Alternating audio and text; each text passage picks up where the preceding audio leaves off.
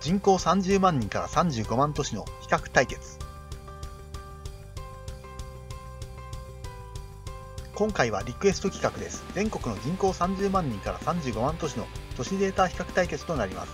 福島県郡山市群馬県前橋市三重県四日市市和歌山県和歌山市高知県高知市沖縄県那覇市東北関東東海近畿四国九州の都市の実力差は様々な指標を使って論よし証拠の10連戦で実証していきます。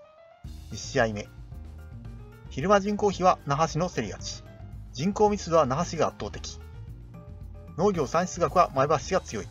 製造品出荷額は四日市市が強い。製造業現金給与総額は四日市市が強い。地方税は四日市市が高い。四日市市の解消です。13点差の2位は和歌山市。2試合目。小売業従業員数は高知市の競り勝ち。建築床面積は那覇市の競り勝ち。小売業年間商品販売額は郡山市の金差勝ち。商業年間商品販売額は郡山市。小売点数は那覇市の競り勝ち。卸売業年間商品販売額は郡山市。和歌山市が接戦を制しています。4点差の2位は郡山市。3試合目。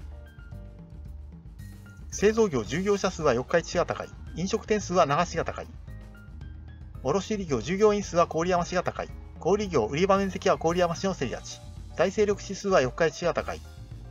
実質交際比率は四日市市。郡山市の勝利です。5点差の2位は四日市市。第3試合終了時点の順位、1位は勝ち点10、2位は勝ち点7、3位は勝ち点4、4位は勝ち点2、5位は勝ち点1、6位は勝ち点0で計算していきます。和歌山市、郡山市、四日市市が競り合う序盤戦となっています。4試合目。課税対象所得は四日市市の競り勝ち。農業産出額は前橋市が強い。年少人口比は那覇市が高い。昼間人口比は那覇市の競り勝ち。医療福祉売上は高知市の勝利。製造業荒付加価値額は四日市。四日市市の勝利です。9点差の2位に前橋市と那覇市です。5試合目。農業講師は高知市の金差勝ち。地方税は四日市市が高い。宿泊飲食業売上は那覇市が高い。商業年間商品販売額は郡山市が高い。出生数は那覇市の金差勝ち。不動産物品業売上は那覇市。郡山市の競り勝ちです。2点差の2位は那覇市。第5試合終了時点の順位。郡山市と四日市市が一歩抜け出すも実力格中の展開です。6試合目。建築床面積は那覇市の競り勝ち。工業はデータ不足。複合サービス業売上もデータ不足。刑法犯認知件数の少なさは郡山市。製造業従業者数は四日市市が高い。建築工事費は那覇市が高い。那覇市の勝利です。6点差の2位は和歌山市。第6試合終了時点の順位、4位那覇市から1位郡山市の勝ち点差がわずか3となっています。7試合目。小売業年間商品販売額は郡山市の金差勝ち。昼間人口密度は那覇市が圧倒的。生活関連娯楽業売上は郡山市が高い。昼間人口比は那覇市の競り勝ち。商業従業員数は郡山市の競り勝ち。小売業従業員数は高知市。郡山市の勝利です。8点差の2位は和歌山市と那覇市。第7試合終了時点の順位、郡山市が再び一歩抜け出しています。8試合目。卸売業年間商品販売額は郡山市が高い。教育学習支援業売上は前橋市が高い。年少人口比は那覇市が高い。製造業現金給与総額は四日市市が強い。果汁チールマ人口密度は那覇市が圧倒的。運輸郵便業売上は四日市市の勝利。和歌山市の勝利です。6点差の2位は四日市市。第8試合終了時点の順位。和歌山市が首位浮上。四日市市が3位浮上。9試合目。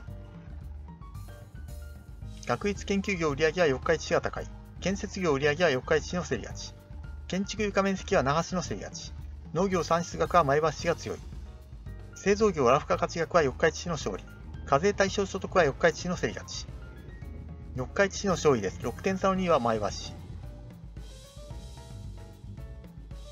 第9試合終了時点の順位、和歌山市、郡山市、四日市市の勝ち点差がわずか3です。最終戦。情報通信業売上は那覇市が強い。医療福祉売上は高知市の勝利。飲食店数は那覇市が高い。昼間人口密度は那覇市が圧倒的。複合サービス業売上はデータ不足。小売業年間商品販売額は郡山市。那覇市の勝利です。8点差の2位は高知市。全10試合の最終結果が出ました。